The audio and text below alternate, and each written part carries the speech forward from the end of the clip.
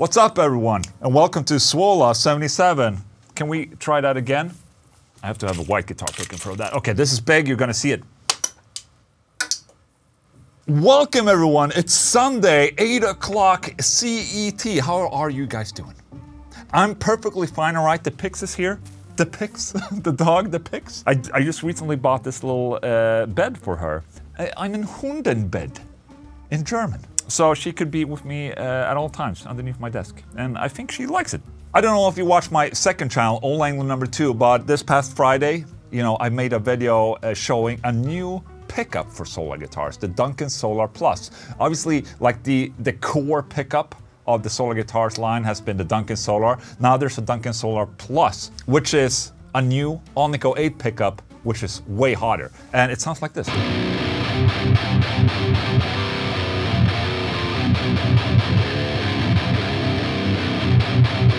Probably not going to notice a difference because I'm using, you know, a shit ton of gain. But just saying, new guitar, hello, and uh, new day, new Sunday.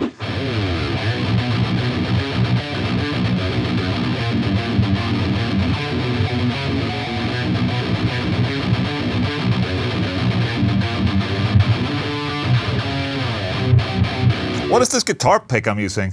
Players Pick Podcast. What is this? I don't know, but it's very. Very thin. I have no idea where it came from, but I guess it's been in my little pick thing right here. All right, let's head on with the news. Sorry. So first up with the news for today. What day is it today?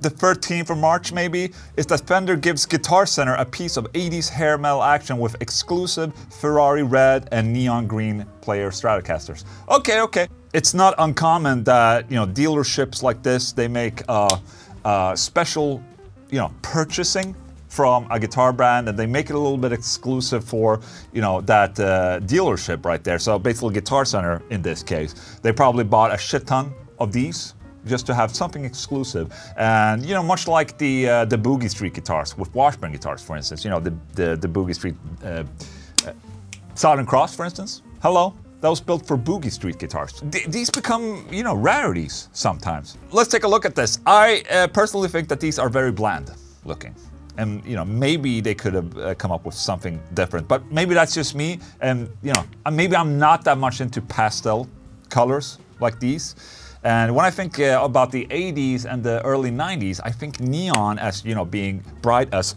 you know bright as just like my just like this guitar right here you know this this guitar that's a neon color for you right there that, that, that it just screams oh oh Oh no, no, no, I fucked it up, I fucked it up, sorry guys. You know, I do have wireless lavalier microphones, but they don't sound as good as the wired ones. That's why I'm still using the wired one here, because, you know, I'm just sitting down. I have a cable going straight to the audio interface. It's just so, so convenient. And the dog is still there. Hello, dog. It's impossible not to pet the dog. Have you ever had a dog? No? Okay, well, you should try it out. It's fucking amazing. A third player Stratocaster uh, Ferrari yellow model is also available at the US retail uh, giant after an identical 6 model was released by UK retailer Andertons last month. Oh, so it's it was not exclusive. Okay, great. Next piece of news. Still going with Fender, they unveil 2022 Custom Shop Master Built Prestige and Limited Edition Annual Collection models. Where is the anime guitar? Okay, let's just start. Uh, Greg Fessler Prestige Ghost I don't know why why I read uh, clown. Ghost clown Telecaster. Ghost town Telecaster. Ghost to town. Let's ghost to town, everyone. This really adds to the authentic age. Uh, that looks. it's my favorite Tele body wood. Kind of cool. All right, Dennis Galuszka Prestige Moto Jazzmaster. Now this I like. Look at that. Holy shit, that looks great. All things Pearloid. Well, look at that thing. That's just straight up Pearloid all over the place. Might be a little tacky, like a tad tacky, but no, I like it. Oh, Yuri Shishkov Prestige Quilted 60 Stratocaster. Uh, bare bones. Looks fairly cool. Jason Smith Prestige Electric Sea Gems Esquire. Okay, okay. Uh, maybe not my first choice if I want to spend $13,000 on a guitar. Uh, just saying. But someone out there might be really happy I mean, these are going to be collector's items. They they only made one of these. Uh, Ron Thorn Prestige Hawaiian Dream Resonator. Okay, resonator guitar. The Hawaiian Dream will set you back an eye-watering $36,000. Who has these kinds of money? Okay, Skeleton. Now we're talking. This guy's a metalhead. Paul Waller Skeleton Telecaster, $21,000. Holy shit. Is that a real skeleton right there? Canvas painter I discovered on Instagram. The Of course, Instagram. The base of all artists nowadays. I think my favorite one was. Uh, was it this one? Maybe this one. Yeah. Just because of how tacky it is. Slash says he still gets self conscious playing in guitar stores. No shit. I mean, playing guitar stores is the worst thing ever. I mean, you're sitting there playing through stuff that you never played before. You picked up a guitar from the wall, it's not set up for you. You play through a rig that's you never played before, and you sit there and try to make something sound good. It's absolutely horrible.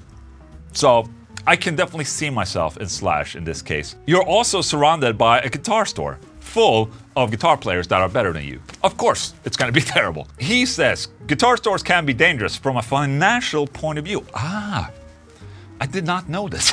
you go in looking for one thing, he says, and then you see something else that you don't necessarily need, but you feel you have to have it, and you end up buying it. Well, that's how it is when you're rich, you know. But it makes a lot of sense. I have this feeling too, except that I actually don't purchase. Gibson salutes Elvis Presley with two new signature acoustic guitars. How many years since Elvis died? 1977, okay. The SJ200 is based on an acoustic that was given to Presley as a gift at a recording session at RCA studio in the mid 60s. The King would go on to use the guitar extensively on stage and later gifted it to his friend Marty Lacker at Graceland in 1976, one year before his passing. Supposed passing. Passing? Supposed passing. Oh, he's still alive. People are gonna eat that up. Look at this. Holy shit, that looks great.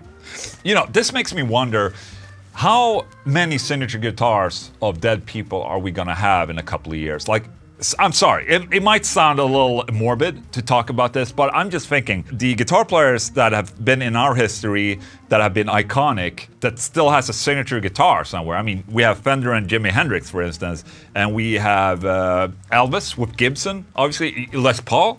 Obviously, that, Les, that's Les Paul. That's a signature guitar. Believe it or not. I mean, how many of these icons will stay for the longest time? I mean, we have Dean and Dimebag, which is, you know, not going to be a thing now, but they're going to make something else. Eddie Van Halen. I'm just saying, how many of these are going to stick through the times? Uh, It's going to be interesting seeing. Uh, just speculating a little bit. But then again, is Elvis really dead? I think he's real dead. Rest in peace. Yvette Young, uh, incredible guitar player, by the way. She's saying, I never really felt like I got good on guitar. The way I spend my time is still very much based around improving. Holy shit! That's me right there. That exact feeling is me. You know, guitar playing is a constant process of you learning more and more, or becoming better, or trying to become better. So I don't think Yvette is uh, alone in this. I'm in on this too. You know, I don't really spend time improving. That's the difference between between us two. I just sit here and do my shit, and you know, I, I write to I write songs with the abilities that I have, and if I come to a solo and I want to write a impressive solo, you know, I try and improve so I can play the solo. That's one thing, but I don't constantly practice. But I have a feeling that people that are like this, you know, that they feel that they're not good enough on guitar. They're probably really, really great, but everyone knows their shortcomings. It's just that they don't show it to people. So a little good discussion there. And uh, Yvette Young, incredible guitar player. Some metal news. Firespawn plotting an LG Petrov tribute EP with guest vocalist. Today marks one year anniversary of uh, Lars Göran Petrov's death. The singer of Entombed and Firespawn, obviously. I saw the crowdfunding he did and was like, oh shit, he has cancer? Holy shit. And then it went like this, man, and he passed away.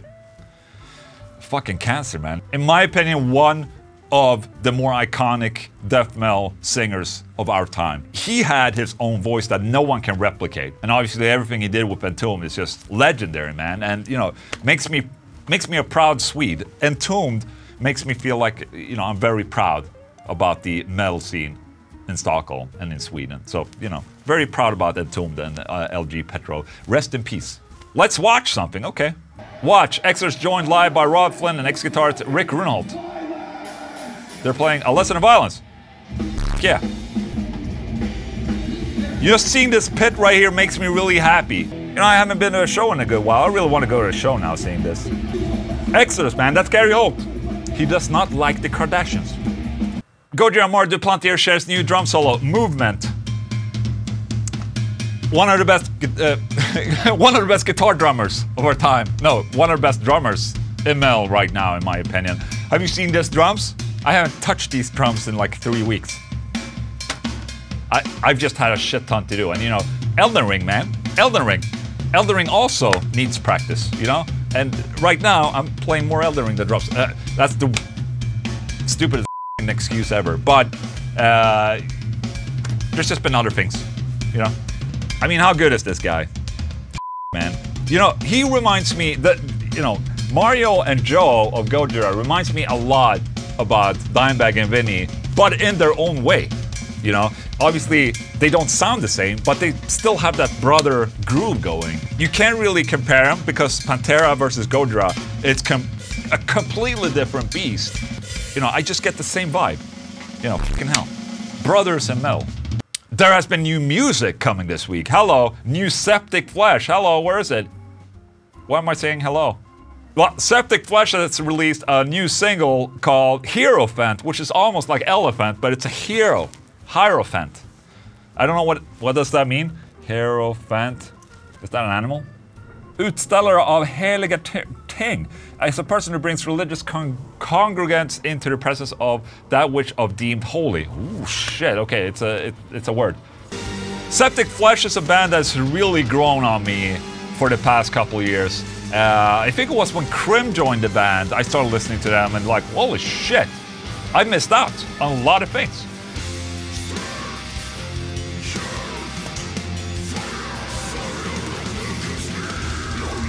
Ugh. Oh, it's just disgusting, man. It's a disgusting song. Ugh. I feel the sweat. Ugh. Ugh. You know, imagine going seeing this on a show right now. And then last but not least, Meshuggah released yet another single from their upcoming album, Immutable. The title fits perfectly for where we are as a band. We're older now, most of us are in our 50s, and we settle into who we are. Even though we've been experimenting all along, I also think we've been the same since day one. The way we approach things and why we still make new albums, uh, and why we still sound the way we do. It's immutable. Okay. Humanity is immutable too. Oh shit, well, calm down. Calm down, shit.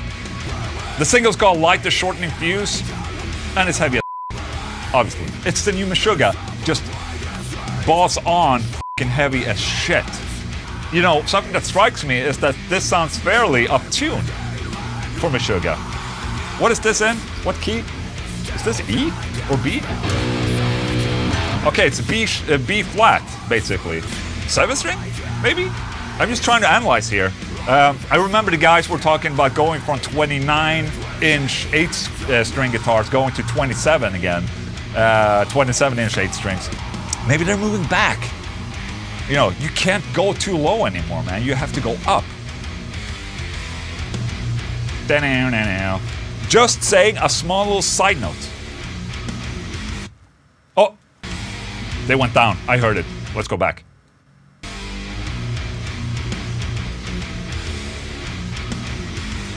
Bodo. What's that? A flat? Okay, cool. Okay, last but not least, five-year-old Prodigy covers classic Green Day song on every instrument. Okay. New project. Guitar or Are, is he really sitting with Logic at five years old? What? He sounds like me when I was 30 years old trying to navigate Logic. And he's five. He's one of these Ibanez, uh, small Ibanez guitars too. That's so cool. Recording, arranging, effects, editing, and all performance of guitars and drums by this five-year-old. Okay, let's do this. Hell.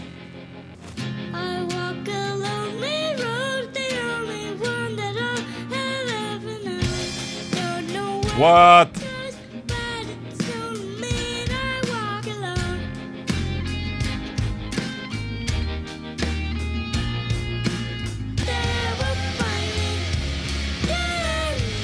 Isn't it up when uh, you know we live in a world where a five-year-old produces and records better content than me of 40 years old? That's so weird. And that, my friends, was the news. And that was Sunday with Ola for you right there. Last week's uh, live stream of the Sunday with Ola Riff Challenge uh, went so-so because uh, they changed out the windows on that side of the office. So I had to tear everything down on that side. So I couldn't do a live stream. But tomorrow, I promise, I will make another live stream for the Sunday with Ola contenders. If you want to be a part of the Sunday with Ola contenders, you can download the drums uh, in this video for the intro that I was playing in the intro, and you can make your own riffs, and I'll check you uh, out next Monday. Okay, so tomorrow I'm gonna check out the contributions from last week's Sunday with Ola. And with that said, I mean the dog hasn't done shit today. Are you okay? Long day today. Know, I'm so oh shit! I can't film that way. There's there's some secret guitars over there. I can't. That's why you're only seeing this side of the uh, of the the Sunday with Ola today. There's secret guitar standing over there. I can't show them. Anyways, guys, I'm so happy I got a dog again. I mean, look at this thing. Look at this cuddly face right there. What? Look at that. Huh? Cutest dog. Cutest dog. Anyways, guys, thank you so much for watching. I hope you have a great Sunday, and I'll see you guys tomorrow, okay? Good, thank you.